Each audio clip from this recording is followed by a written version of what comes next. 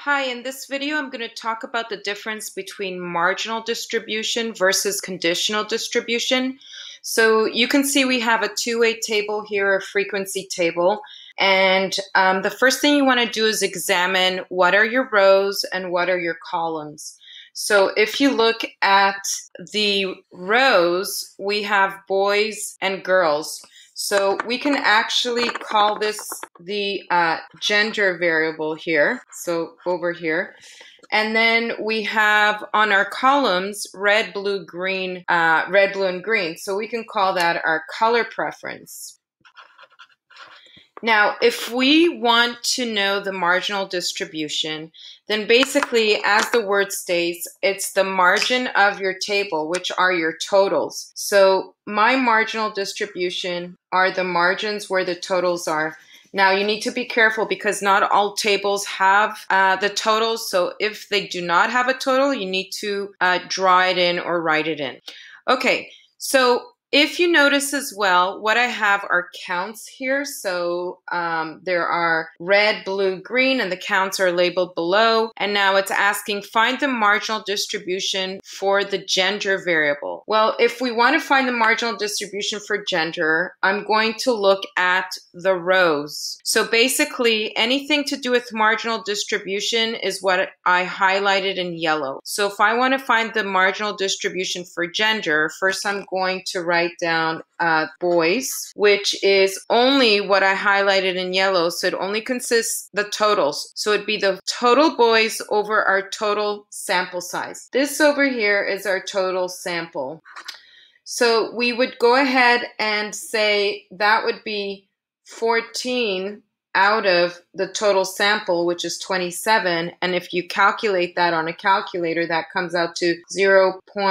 5185. Now, you do want to always leave four decimal places, but at least three. Um, so once this is in decimal, of course, you convert this to percentage. This would be the same as 51.85%.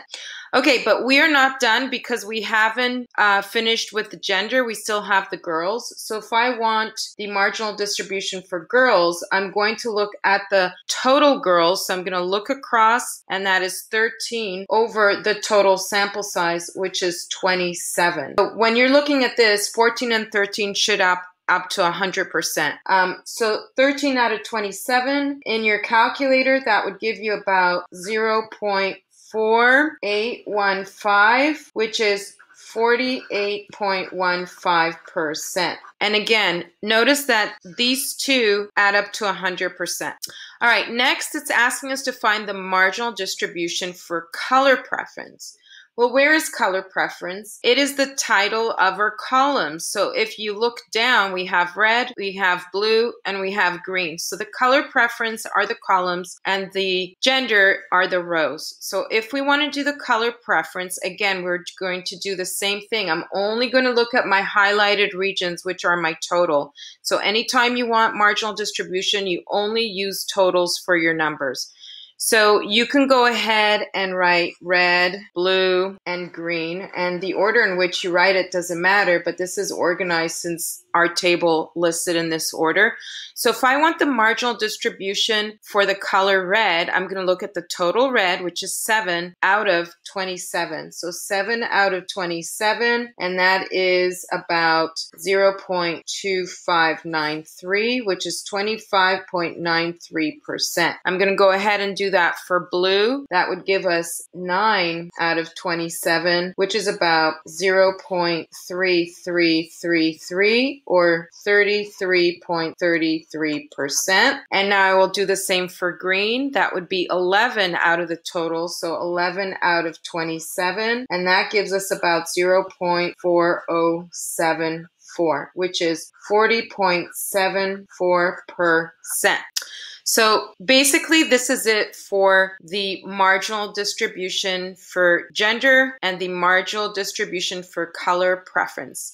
Um, in the next video, I'm going to discuss conditional distribution.